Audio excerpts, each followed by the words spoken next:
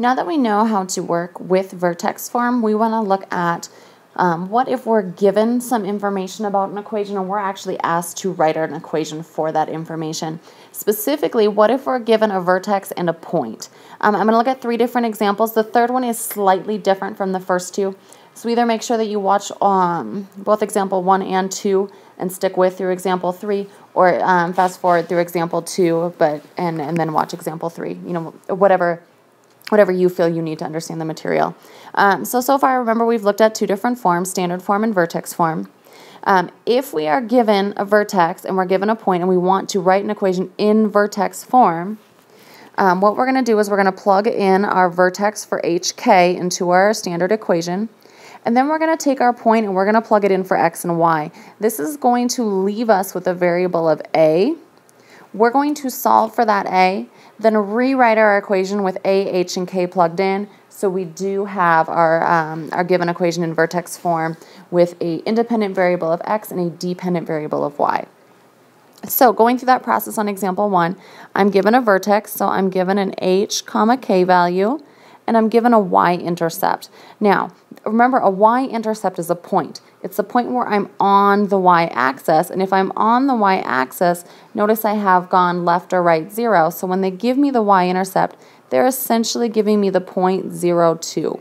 So I'm going to plug that in for x and for y.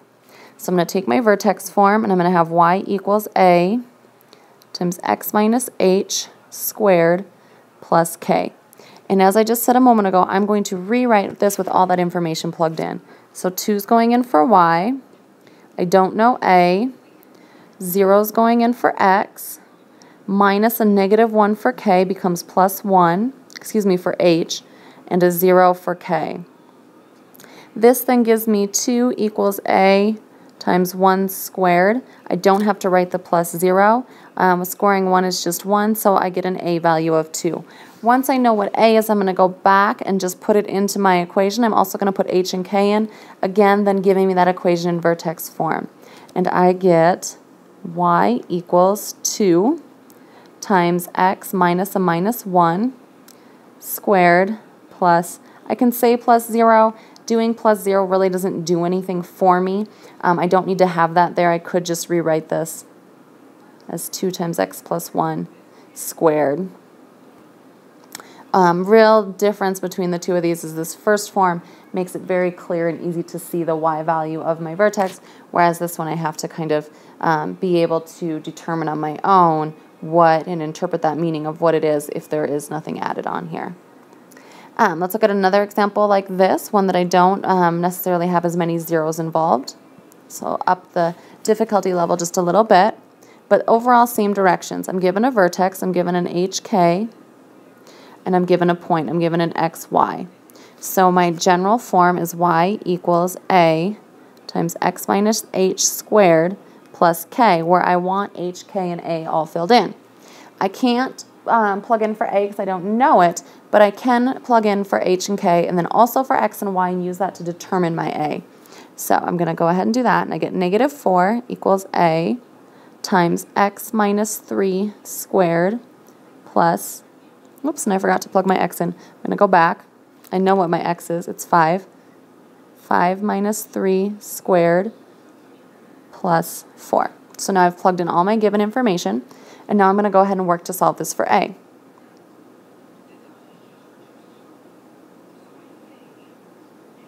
Starting in my parentheses, now doing exponents, 2 squared is 4, so I get negative 4 equals a times 4, which is the same thing as 4a.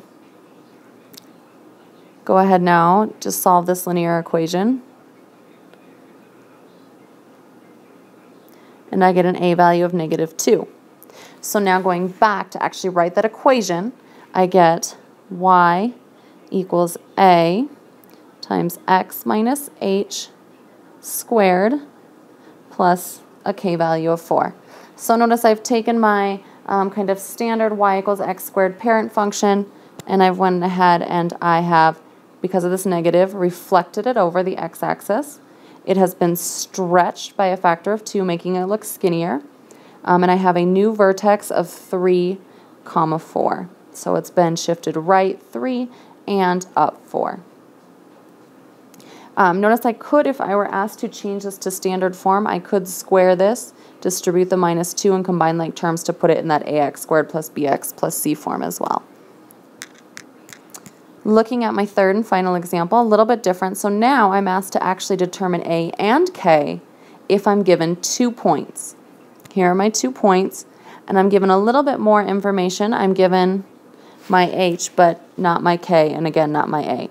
So what I'm going to do, since I have two unknowns, I want to be able to have two equations because if I have two equations where I'm solving for two unknowns, I know I can use either substitution or elimination to solve for those two unknowns. So I'm going to go ahead and plug in. I'm going to plug in for x, y for my first equation and x, y for my second equation.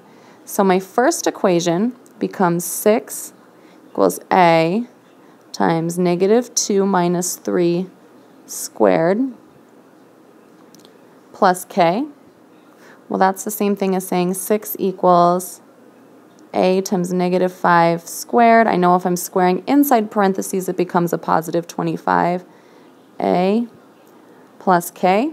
So there's going to be my first equation. My second equation, doing the same thing but now using my second point, I get 1 equals a times 3 minus 3 squared plus k.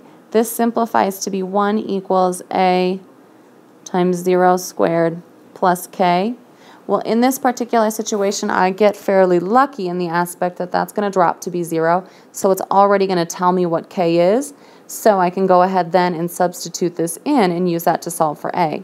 So 6 equals, doing that, 25a plus 1. I subtract 1 from each side to solve this linear equation. Divide by 25 and I get 1 fifth for my a value. Now that I know both a and k, I can go ahead and write my general equation. Um, my um, general equation to have both of these points on the graph is going to be y equals 1 over 5 times x minus 3 squared plus a k value of 1. And like I said, if I had not had this drop out so nicely, I definitely could have also used elimination to help me solve for that. Um, a and K value as well.